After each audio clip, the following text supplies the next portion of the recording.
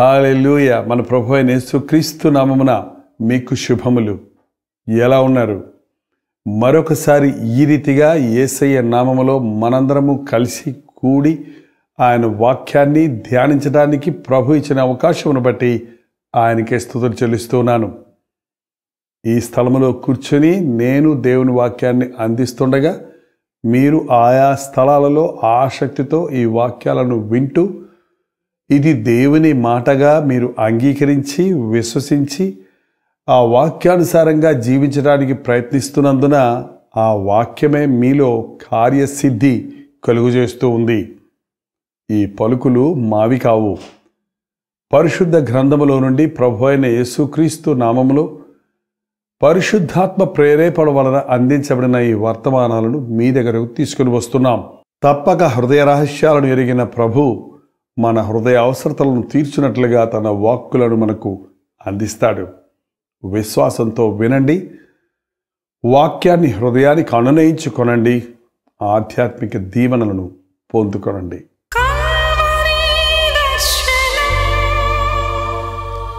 కురుదెలుగు రాసిన రెండవ పత్రిక పదకొండవ అధ్యాయము మూడవ వచనాన్ని చదువుతున్నాను. వినండి.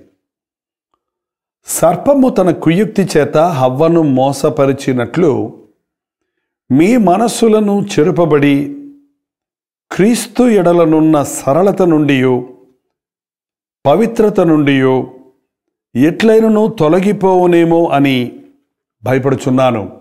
పరిశుద్ధుడైన పౌలు తన హృదయాన్ని ప్రభువుకి ఇచ్చినప్పుడు తన పట్ల దేవుని చిత్తాన్ని ఎరిగినప్పుడు తాను క్రీస్తు సాక్షిగా నిలబడాలని సువార్తను ప్రకటించాలని దేవుని రాజ్యాన్ని కట్టాలనే ప్రయాసతో సాగటం చూస్తూ ఉన్నాం. ఆయన సాక్ష్యము సువార్త ప్రకటన ఎక్కడ జరిగితే అక్కడ ఆత్మకార్యాలు జరగటం గమనించాం. ఆయన స్వస్థతలు జరిగించిన మాట నిజమే. అయితే అనేకులు వారి హృదయాలను ప్రభువుకు అర్పించటం ఆయన పరిచయలో చూస్తూ ఉన్నాం. అద్భుతాలు ఆయన పరిచర్యలో జరిగినవి అంతేకాక ఆత్మరక్షణ ప్రక్రియలు జరిగినవి. నిజమైన సువార్త సారం నేను పాపిని ఆయన పరిశుద్ధుడు అని. ఒక పాపి తన పాపముల కొరకు పశ్చాత్తాపడితే తన కొరకు సెలవులో ప్రాణమిచ్చిన యేసుక్రీస్తు అతనిని క్షమిస్తాడని పాపి తన పాపముల కొరకు పశ్చాత్తాపడి క్రీస్తు రక్తములో కడగబడాలని క్రీస్తును రక్షకునిగా అంగీకరించాలన్నదే సువార్త సారం. అయితే ఈరోజు ఈ సత్యం ఈనాటి పరిచర్యలో తక్కువైపోతూ ఉంది. ఏసునామంలో వచ్చే ఆశీర్వాదాలు అభివృద్ధి స్వస్థత దీవెన గురించి కావలసినంత మనం వింటున్నాం. అయితే నేను పాపిని అన్న విషయం అనేకులు గుర్తించడమే లేదు. నాకు కేవలం భూ సంబంధమైన ఆశీర్వాదాలు మట్టుకు కాదు ఆత్మరక్షణ నేను పొందాలి. యేసుక్రీస్తు నాకు చేసిన మేలులను బట్టి నా హృదయాన్ని ఆయనకు అర్పించాలి. ఆయన సాక్షిగా ఈ లోకంలో నేను జీవించాలి అన్న విషయం అనేకులు గుర్తించడమే లేదు. పరిశుద్ధుడైన పౌలు సంఘాన్ని ఎంతగానో ప్రేమించాడు. ఒక మంచి కావలివాడిలాగా సంఘాభివృద్ధి కొరకు ప్రయాసపడుతూ శత్రు సమూహాల నుండి శత్రు పన్నాగాల నుండి సంఘమును కాపాడుటకు ప్రయత్నించేవాడు. అవును ఒక నిజమైన దేవుని సేవకుడు బోధకుడు మాత్రమే కాదు కాయువాడు. మెలకువగా ఉండి తప్పిపోతున్న గొర్రెలను వెతికి పట్టుకునివాడు. గొర్రెలను సరైన మేతతో తృప్తిపరచువాడు. దేవుని మాటలతో విశ్వాసులను బలపరచువాడు. ఇక్కడ కొరంది సంఘానికి పౌలు రాస్తూ అంటున్నాడు సర్పము తన కుయుక్తి చేత హవ్వను మోసపరిచినట్లు. సర్పం సాతాను కుయుక్తితో హవ్వను జనములకు తల్లి అని పిలువబడిన హవ్వను మోసపుచ్చింది. దేవుని మాటల కంటే సర్పము మాటలు హవ్వకు తీయగా అనిపించాయి మంచిగా అనిపించాయి సులభముగా అనిపించాయి. చూడండి ఈ అంచెదినాలలో మనుషులు కఠినమైన దేవుని బోధను ఆయన మాటను ఉన్నది ఉన్నట్టు బోధించే బోధకులను ఇష్టపడతలేదు. దురద చెవులు గలవారై కల్పనా కథల వైపు తిరుగు కాలము వచ్చుచున్నది అని పౌలు చెప్పిన కాలం రానే వచ్చింది. ఈ రోజున ఎందరో స్వస్థతల కొరకు ఆసక్తి కలిగి ఉన్నారు. కానుకలిచ్చి మేలులు పొందుదామని హృదయవాంఛలు తీర్చుకుందామని ఆశిస్తూ ఉన్నారు. అయితే ఆత్మరక్షణ పొందాలని పాప కార్యములను విడిచిపెట్టాలని గ్రహించటం లేదు. సాతాను కుయుక్తులకు లొంగిపోతున్నారే గాని దేవునిని వెతుకువారు కనబడటం లేదు. ఎవరిని మింగుదునా అని గర్జించుచూ తిరుగుచున్న సాతాను ఈ అంచెదినాల్లో ముమ్మరముగా ఉన్నాడు. నిద్రపోకుండా వాడు వేటాడడానికి వెంటాడడానికి ప్రయత్నిస్తున్నాడు. ఎవరిని? దేవుని కొరకు బ్రతకాలనుకున్న వారిని. దేవుని మాటలు వినాలనుకునే వారిని. అవును కుయక్తితో సాతాను మోసగిస్తున్నాడు. క్రీస్తునందు మనకు ఉన్న సరళత నుండి తొలగిపోవునట్లుగా. సరళమైన మార్గం అంటే సరైన మార్గం తిననైన మార్గం ఏసీయ నడిపించే మార్గం సరళ మార్గం అంటే చక్కని మార్గం తిన్నని మార్గం. ఇందులో వంకర టింకరలు లేవు. అడ్డుదారులు దగ్గరదారులు లేవు. ఎవడైనాను నన్ను వెంబడించగోనేడలు తను తాను ఉపేక్షించుకొని తను సిలువెత్తుకొని నన్ను వెంబడించాలి అని ప్రభువు చెప్పాడు కదా. అంతేగాని ఏదో ప్రభువుని వెంబడించడం అంటే సంతోషంతో గంతులు వేయటం చప్పట్లు కొట్టడం ఆశీర్వాదాలు అనుభవించడమే అనుకుంటున్నాం కదా. మనం సరళమైన మార్గాన్ని నుండి తొలగిపోతున్నాం. కారణం సాతాను బోధ తీయగా ఉంది. సాతాను బోధ సులభముగా ఉంది. సాతాను బోధ దేవుని బోధకు వ్యతిరేకంగా ఉంది. అయినప్పటికీ మోసపుచ్చే సాతాను మంచి మాటలతో ఈనాడు అనేక మంది విశ్వాసులు కూడా మోసపోతూ ఉన్నారు. సాతాను మాటలను నమ్మి అనేకులు నష్టపోతూ ఉన్నారు. ఎక్కడ చూసినా మనం లోకంలో మోసాలు అన్యాయాలు చూస్తున్నాం కదా. అవి సాతాను కార్యాలే. అయితే దేవుని బిడ్డల విషయంలో భక్తి విషయంలో మనల్ని మోసగిస్తున్నాడు. మన డబ్బు విషయంలో మనల్ని మోసగిస్తే పర్వాలా? మళ్ళీ సంపాదించుకోవచ్చు. ఇతర విషయాలైతే మనం సరిచేసుకోవచ్చు. కానీ మన సరళత నుండి మనం తప్పిపోనట్లుగా మన హృదయంలో అపవిత్రులం అయిపోనట్లుగా మన పవిత్రతను పోగొట్టుకున్నట్లుగా సాతానుడు మనల్ని శోధిస్తూ ఉన్నాడు. దేవునికి లోబడవలసిన మనం సాతానుకు లోబడిపోయి మన సర్వస్వాన్ని పోగొట్టుకుంటున్నాం. అవును సాతాను ఈ రోజున క్రైస్తవ సంఘము చుట్టూ తిరుగుచూ ఉన్నాడు. ఏ విశ్వాసిని మింగుదామా? ఏ బోధకుడిని తప్పుదారి పట్టిద్దామా? నా బోధను వినిపింపజేసి సరళత నుండి ఎవరిని తప్పిద్దామా అని. గనుక మీరు బహు జాగ్రత్తగా ఉండాలి. మీరు ఏమి వింటున్నారో దానిని గుర్తించండి. మీరు విన్న వర్తమానముల సారాన్ని గ్రహించండి. మీ పాపములను గురించి మిమ్మల్ని ఒప్పింపచేయని బోధ వలన మీకు ఎటువంటి ప్రయోజనము ఉండదు. మీ బాధలలో మీరు ప్రభు అయిన యేసుక్రీస్తు వైపు తిరిగినట్లు చేయని బోధ మీకు ఏ ప్రయోజనకరంగానూ ఉండదు. మీరు యేసు వైపు తిరిగినప్పుడు ఆయన కృప కనికరములు ఎంత గొప్పవో మీరు అనుభవించినట్లుగా మిమ్మల్ని నడిపించగలిగిన పరిశుద్ధాత్ముని యొక్క సత్యాన్ని మీరు గుర్తించండి.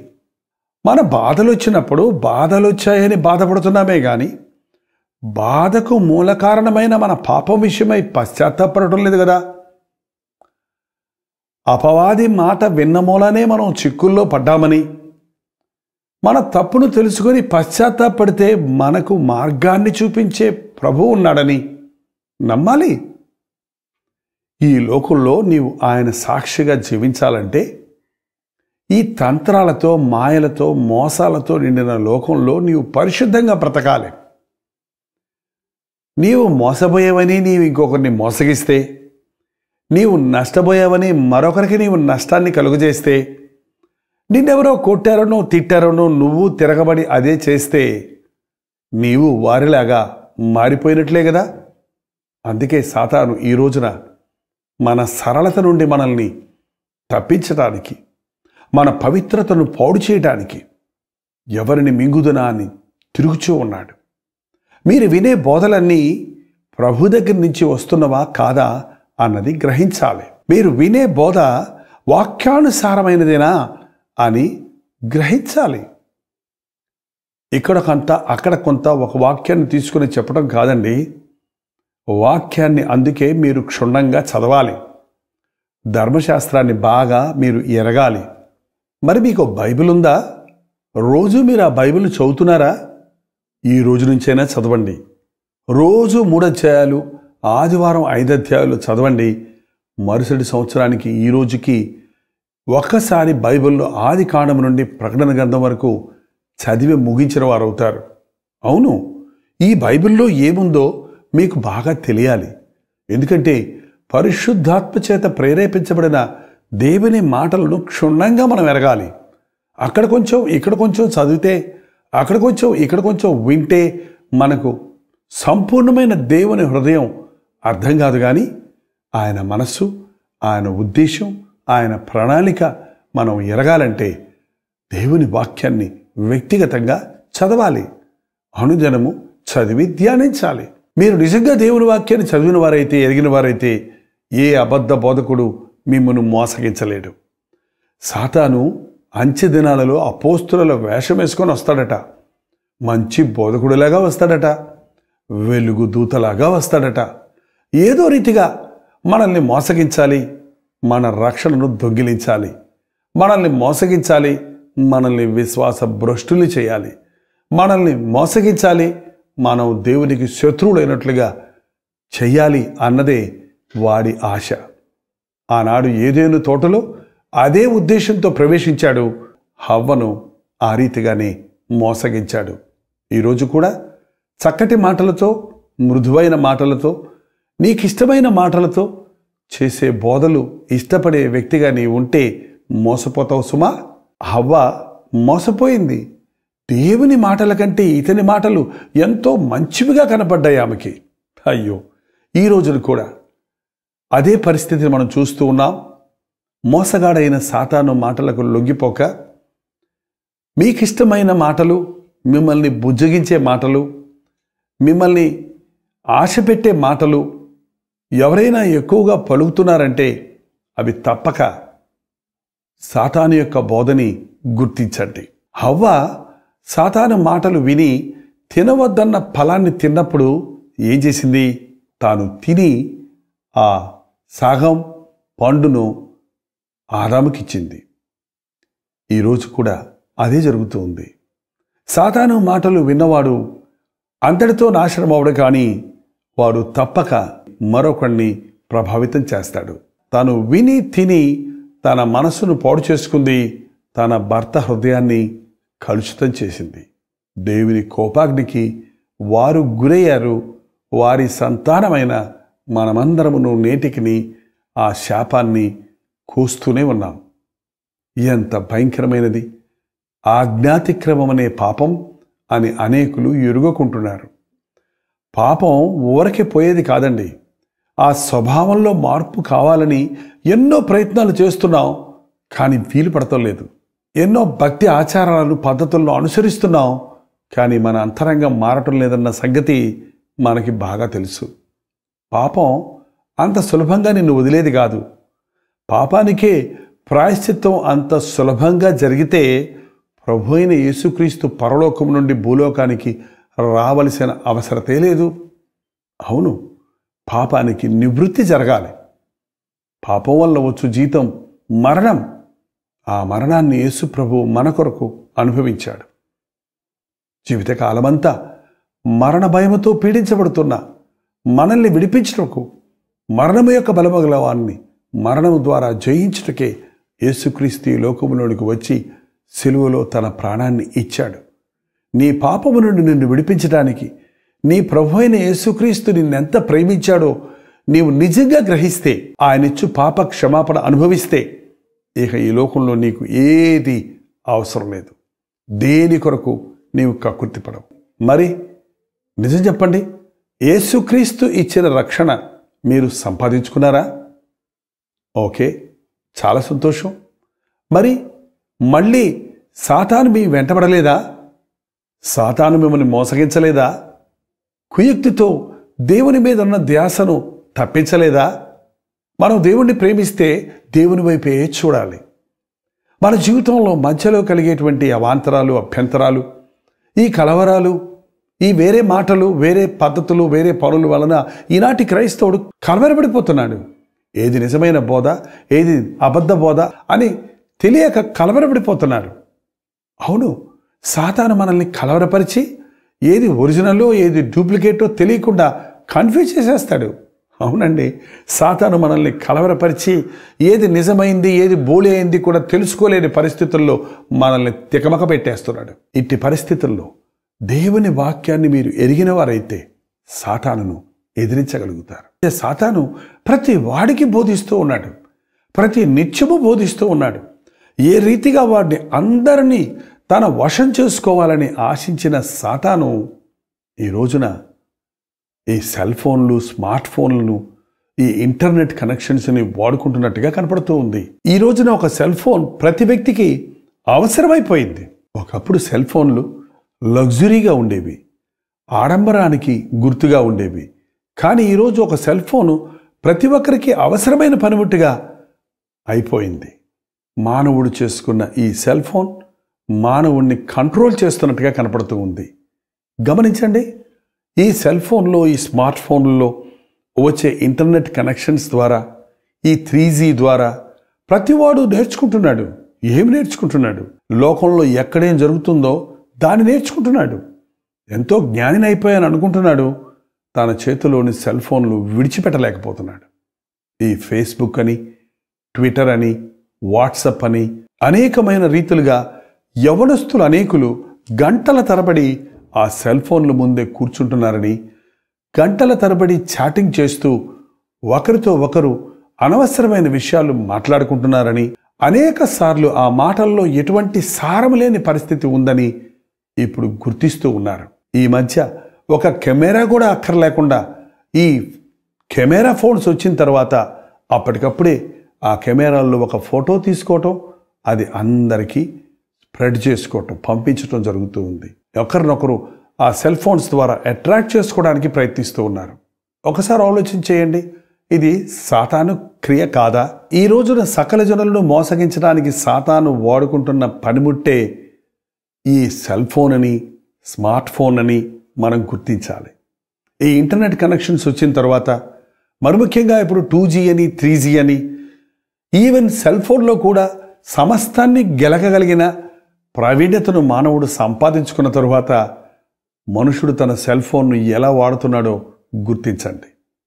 సాధారణ బోధ ప్రతి వాడికి అందినట్లుగా ప్రతివాని చేతిలోనికి సెల్ ఫోన్ వచ్చింది. ఆ సెల్ ఫోన్ని ఎలా ఉపయోగిస్తున్నాడో గమనించండి.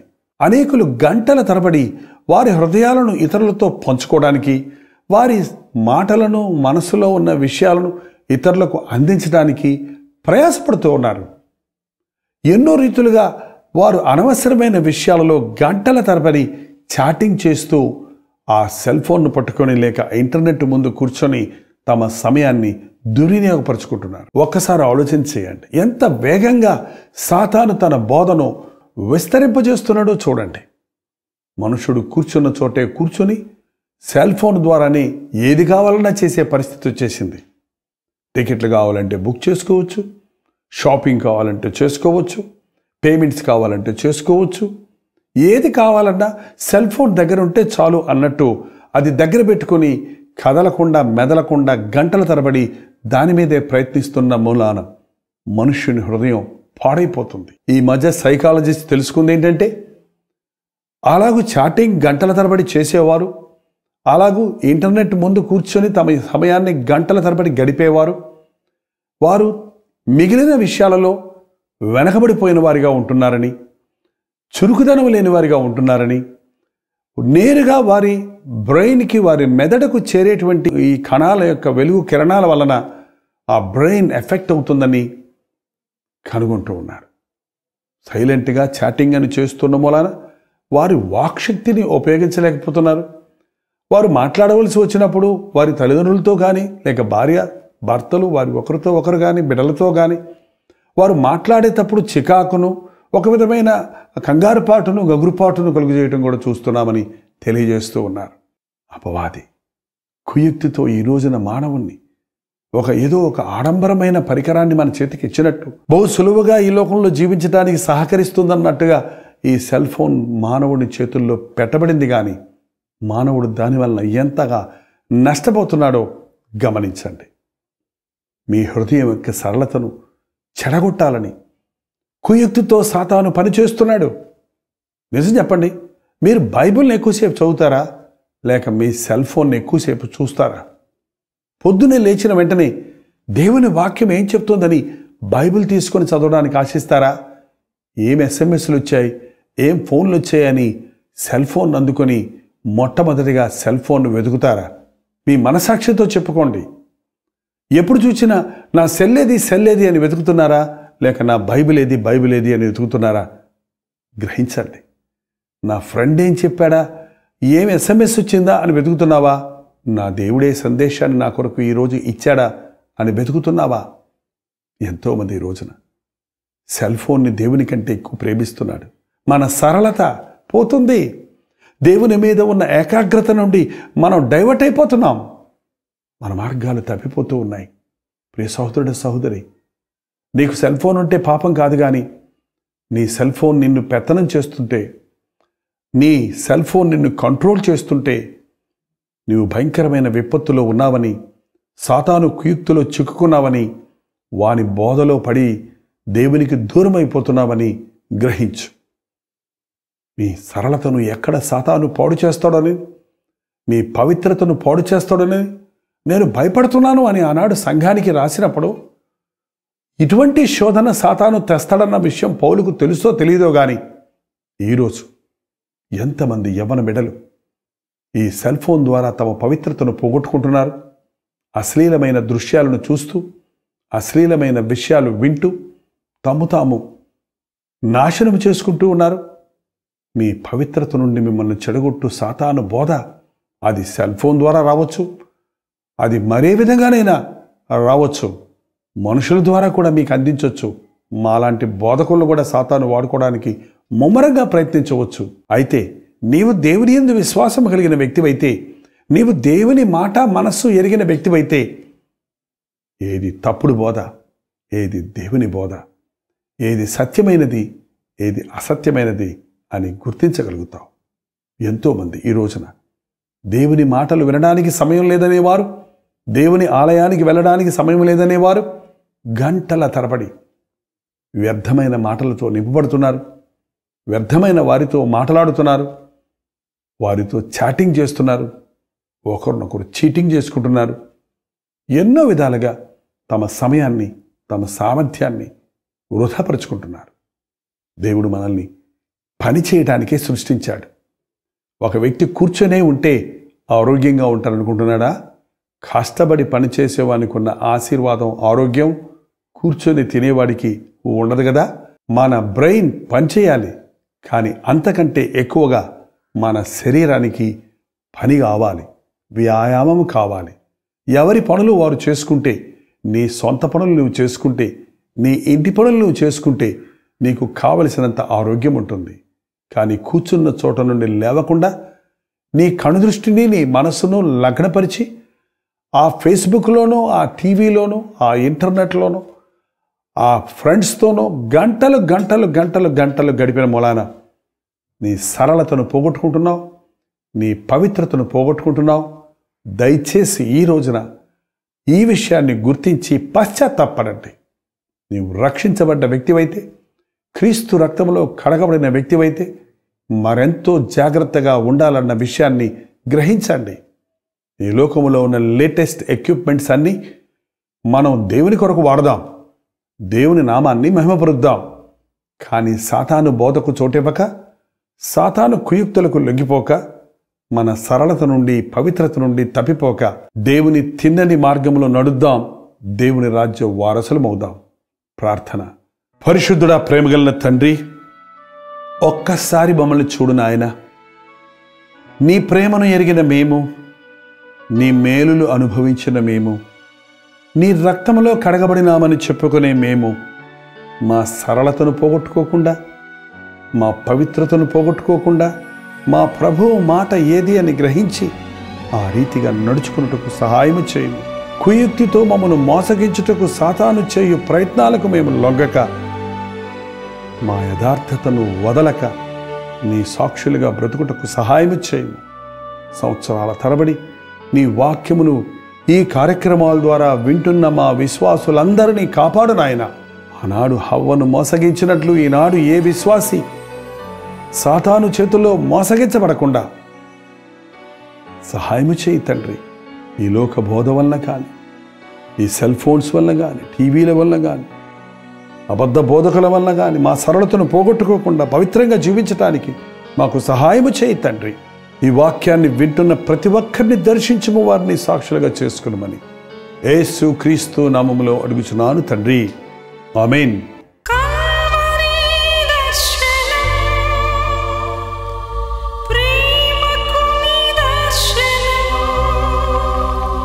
మీ హృదయ శుద్ధిని కాపాడుకోనండి. దేవుని వాక్యాన్ని విన్న తర్వాత ఆ వాక్యాన్ని హృదయంలో భద్రపరుచుకోనండి. లేకపోతే వ్యర్థమైన విషయాలతో సాతాను మీ హృదయాలను మోసగించడానికి ఎప్పుడూ సిద్ధంగా ఉంటాడు. మీ సెల్ ఫోన్లు జాగ్రత్త. వాటిని మీరు ఎలా ఉపయోగిస్తున్నారన్న విషయం జాగ్రత్త. మీ జీవితాన్ని దేవునికి అప్పగించుకొని ఆయన వాక్యానుసారంగా జీవించండి. మీకు సెల్ ఫోన్ లేకపోతే పేదవారు అనుకోకండి ధన్యులు. మీకు సెల్ ఫోన్ ఉంటే అన్నీ నా చేతిలోనే ఉన్నాయని విర్రవీకండి మీరు సెల్ ఫోన్ చేతిలో పడిపోకుండా చూసుకోండి. మీకోసం మేము కూడా ప్రార్థన చేయాలని ఆశిస్తే మీ ప్రార్థన అవసరతలు భారాలు మాకు తెలియచేయండి. ప్రభు సన్నదిలో మీ నిమిత్తమై విజ్ఞాపన చేయడానికి మేము ఇప్పుడు సిద్ధంగా ఉన్నాం. భారభరితమైన ఈ పరిచయలో మీరు కూడా పాలిభాగస్తులై ఉండగోరితే ప్రభు మిమ్మల్ని ప్రేరేపిస్తే మీ విరాళములు కానుకలు పంపడం ద్వారా ఈ పరిచయలో పాలిభాగస్తులై దేవుడిచ్చు ఆశీర్వాదాలను పొందండి. ప్రభు చిత్తమైతే మళ్ళీ కలుసుకుందాం. అంతవరకు దేవుని మహాకృప మీకు తోడైనగాక